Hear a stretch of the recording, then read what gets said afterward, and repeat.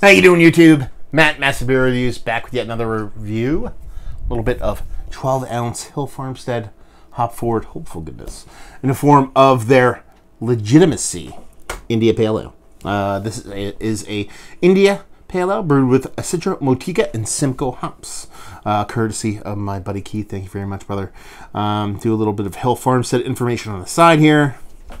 And this began less than two weeks ago. Um, they actually put a best by best drink by date. It's kind of weird. It's like it's like a month and 12 days, which is really weird. Um, maybe it well, it's 11 12 and it's drink by 12 24. So maybe they just want you to chug um, beers on Xmas Eve. Yeah, I like the can. So Farmstead. There's nothing to it. So yeah, little 12 ounce yammer. See how the sucker shits I meant I said sits, not shits, but I try to say it with a weird accent. So it sounded like I said shits, but hopefully it doesn't shit in my mouth. Let's put it that way. Um, it looks like a Hill said hazy. What do I mean by that? The head under hazy beers or their hop forward beers, and a lot of their beers tend to be a really tight, compact kind of head to it.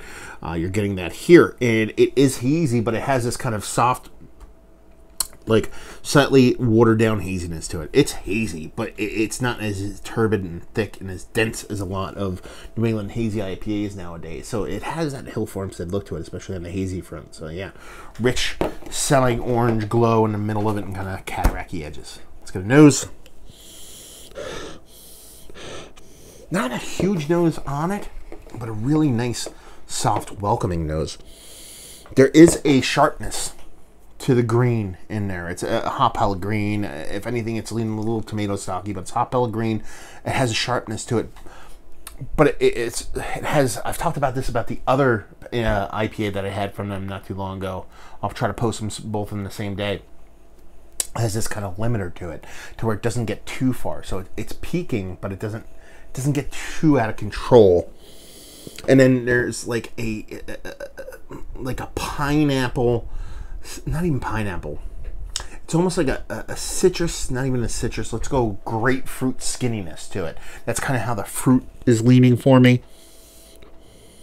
Yeah, really nice, man. Really nice, like welcoming. Like the way the hops are coming off are fresh, vibrant, sprightly, but at the same time soft enough to where they're not overly aggressive. It just smells really nice. It smells like a citrus leaning without being too acidic, kind of uh, soft green IPA. Let's just drink it. Cheers.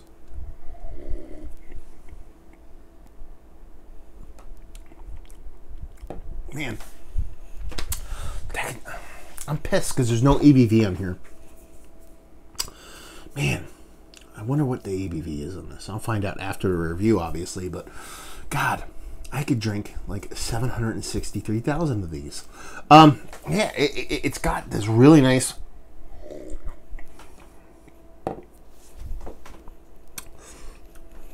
super creamy, almost like verging on the edge of lactose creamy, but doesn't have that sweetness to it. Almost like it has a little bit of soft vanilla in it, kind of creaminess. You get that nice, rich uh, grapefruit, like I said, non-acidic, non-ripened kind of grapefruit on one end, and you get that soft, hop pellety, slightly tomato stocky green on the other. Perfectly balanced with that really soft, creamy middle to it welcoming, just super easy drinking. Chuggable. That's tasty stuff, man. The way that hop shows. So I was talking about that creamy middle part. There is this green portion of the show to it that is like the most like the most dangerous weed you've ever had in your life to where it's not like this overly pungent over the top like kind of crazy icky sticky weed.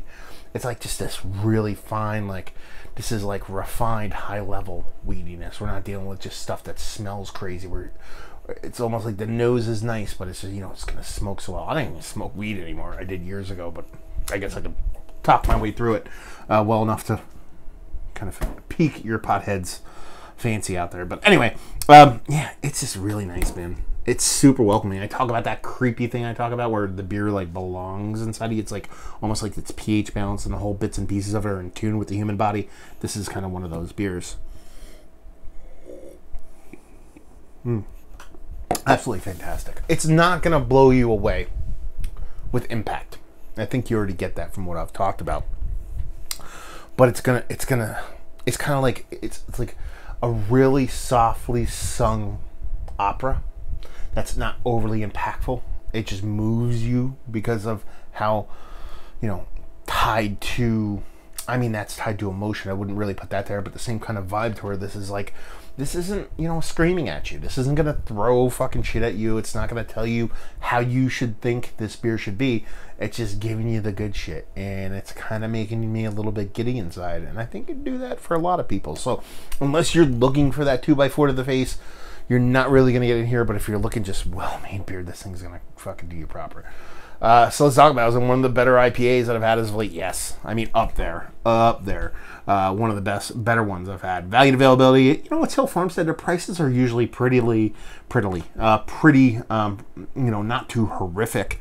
Um, brewery only. Unless you get it on draft, you can see their stuff on draft every now and then, and leave you with if you like. Well, will you like this beer? If you like good beer, that's it. That's all I'm gonna say about it. If you like hops, you like good beer, and you like hops. I don't know. It's delicious if you're if you like your hazies, you like good beer all around, this is gonna do you. There you go. Another review in the books. Down there if you want to talk about it. Massive beers if you want to check me out on the social media stuff. Beer Massive. You want to check me out doing the podcasting thing. Hopefully you guys enjoyed the review. Hopefully enjoying a nice little Hill Farmstead jammer right now. We'll see you next time. Cheers.